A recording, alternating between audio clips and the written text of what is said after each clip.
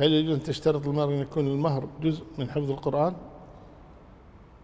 حفظ جزء من القرآن الكريم؟ يجوز. يجوز أن تشترط المرأة في المهر أن يحفظ جزءا من القرآن الكريم؟ لها ذلك. هذه الشروط يعني الشروط أنواع كما قال أهل العلم.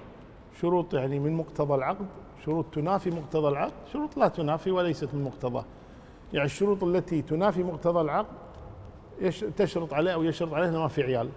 هذا شرط ينافي مقتضى العقد أو يشرط عليه أنه ما يأتيها ما يجامع هذا ينافي مقتضى العقد أو يشرط عليه أنه ما ينفق عليها هذه كلها شروط تنافي مقتضى العقد أو آه، شروط هي من مقتضى العقد يقول شرط أن تمكنيني من نفسك. أكيد ممكن من الزواج هذا. أو شرط أنك تنفق علي أكيد سأنفق عليك. هذا من مقتضى العقد أما الشروط الخارجة عن مقتضى العقد مثل هذا الشرط.